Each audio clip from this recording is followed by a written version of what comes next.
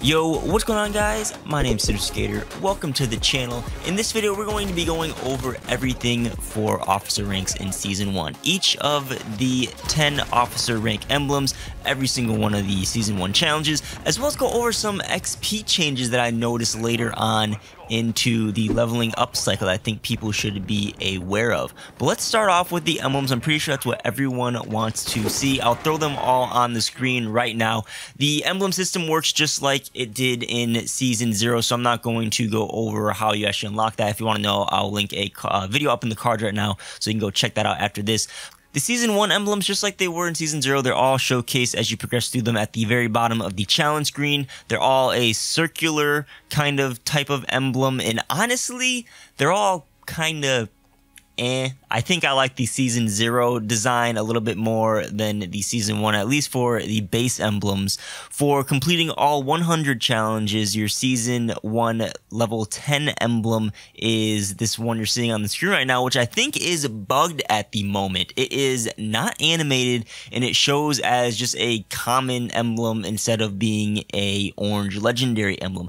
And I believe this is a bug that will be patched at a later date, maybe when season one ends. That's when we're supposed to be getting the animated emblem as a reward to show after the season, or maybe it's just bugged and it's supposed to be shown right now, but it's not. Either way, on the Activision blog itself, it says that earning 10 ribbons gives you a special season emblem with each additional 10 ribbons evolving that emblem. Collecting all 100 ribbons unlocks an animated emblem which serves as proof of getting the ultimate achievement for that season. They said it's all supposed to be animated. It's going to be fixed at some point, I'm sure. So uh, that's what's up with that. You also, once you hit max rank in season one, you get the M91 Warhead Legendary Weapon Blueprint, which again, I did a video on separately, so link in the card. You can check it out after this video if you want to learn more about that. Now, as for the challenges, I will be showcasing every single one on the screen right now, probably in fast forward motion. So if you're looking for specific ones, you probably want to pause to see them all. But uh, again, 100 challenges compared to last last season, season zero, the launch season of the game, I think the season one challenges were much more easier. I really only had trouble doing one challenge compared to last season where there were like, I don't know, maybe five that were kind of a pain in the butt to do or really hard to do. The only one I really had a problem with uh, this season was getting or calling in a juggernaut, which I believe was like the third to last challenge. And I actually got one on shipment pretty much right when I unlocked the challenge and it never counted. And I've been trying to like force myself to get it ever since. It was just having a hard time to get it. Now, pro tip for you guys if you want a juggernaut and you're not good at getting kill streaks or 15 kill streaks you can use the care package or the emergency airdrop or even better yeah this is how i actually did it just play Drop Zone, which is the brand new playlist uh, that's live the week of Christmas. Hopefully, it'll stick around if you're getting to this video or getting to that challenge at a later day. But in Drop Zone, you just play the objective, camp out all the care packages, and eventually you'll get a Juggernaut like I did. It just automatically equips it, and that counts as the challenge. So that was a really easy way for me to complete that. I kind of beat myself in the head after I realized I could just do that. So I can make this video in a timely manner. I think the only other challenging challenges that you might have to go out of your way for or try hard for in season one is the resistance challenge, which is similar to one in season zero, but I think it's a little bit easier. We have to get five kills or better against attackers guarding one objective. Uh, you can play hard quarters, God, I always say hardcore. You can play headquarters or hardpoint. I actually played it on hardpoint and I got it on the map shoot house without even actually having to try for it. So that was actually pretty easy for me to get. And then the only other one I think would be a challenge is getting two quad feed medals, which my pro tip would be just play shipment. So that brings us to the last thing I want to cover in this video, which is the XP for season one. We knew at the beginning of the season they doubled the amount of XP from 10,000 per rank to 20,000 per rank, which made it a little bit harder to level up. Honestly, wasn't that big of a change. It was way too easy to level up in season zero.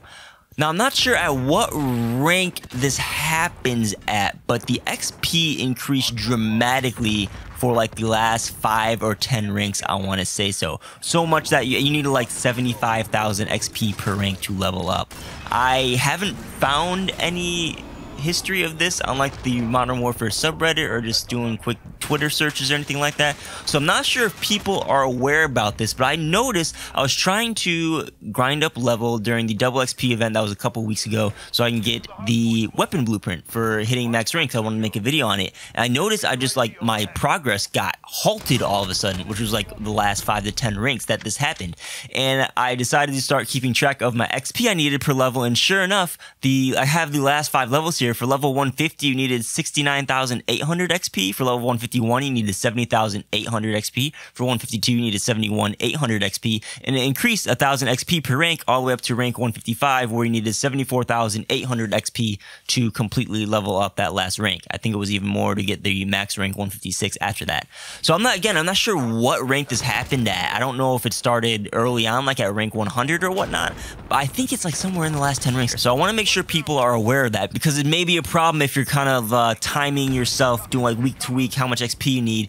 I don't want you to be doing something like that and then hit that last week and then all of a sudden need gargantuan amount of XP and you're going to miss hitting max rank on season one. So please plan accordingly if you fit into that scenario.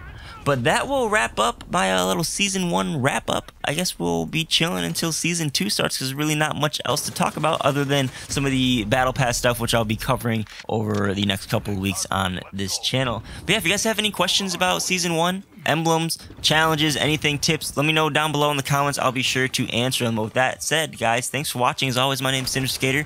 Be sure to like the video if you did enjoy it and hit the subscribe button and even hit that bell notification so you get notified when all my videos go live. Check the links down below in the description for 10% off Kontrol Freeks as well as cool anime apparel. You also find my Amazon and social link down there if you want to shop that link and help support my channel that way. But again, thanks for watching, guys. My name is Synyster Skater. I'll catch you guys on the next video. Peace out.